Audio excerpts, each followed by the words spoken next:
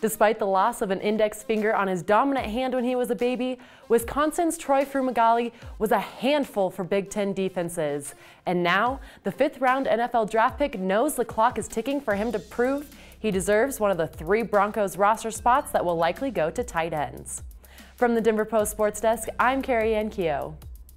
Fumagalli was forced to sit out through Broncos OTA and minicamp after undergoing a sports hernia surgery in March and now has until September 1st to show Joseph and the entire coaching staff why he should be part of the 53-man roster. Joseph said that he knows Troy is behind the eight ball as far as physical conditioning, but that he is a competitive blocker and that the team is excited about him.